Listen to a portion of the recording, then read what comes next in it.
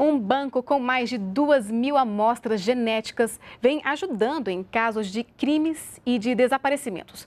Desde 2013, o banco já contribuiu com a resolução de 71 investigações no país identificar criminosos e pessoas desaparecidas. Esse é o objetivo do Banco Nacional de Perfis Genéticos. São amostras de DNA que foram coletadas de condenados por crimes hediondos e violentos, recolhidas em locais de crimes, coletadas de restos mortais ou cadáveres de pessoas não identificadas ou amostras fornecidas por familiares de pessoas desaparecidas. Esse trabalho começa no local de crime, com a perícia de local e naquele local de crime, então, o perito coleta vestígios.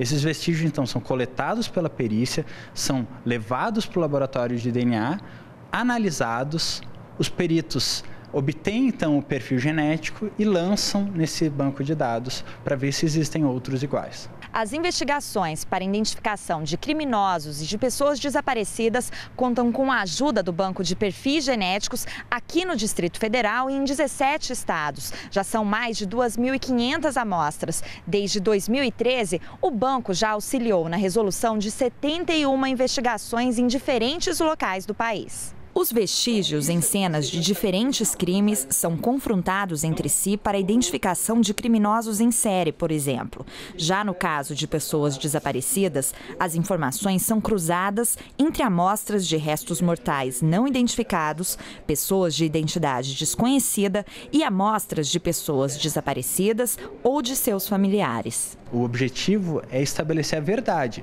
Se aquele suspeito ele é inocente, o exame de DNA vai dizer justamente, não foi ele que esteve naquele local. E se for, vai dizer claramente que é. Isso tudo sustentado por uma técnica científica, que é o exame de DNA.